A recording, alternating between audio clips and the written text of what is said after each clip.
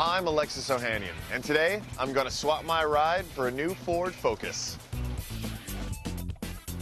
I've got my coffee, and I am ready to start driving around Williamsburg. But there is no way I'm doing that without some dope jams coming out through the speakers. Now, I've got a few options. My Galaxy Nexus is Bluetooth connected to this sound system. And so if I'd like, I could fire up Pandora and listen to some of my favorite stations. And then it's as simple as hitting play. Well, between that hot coffee and the beautiful sun on this afternoon in Williamsburg, I'm getting a little bit warm. Now, the easiest way for me to change the temperature inside of this Focus is actually using the voice-activated technology. Please say a command. Climate.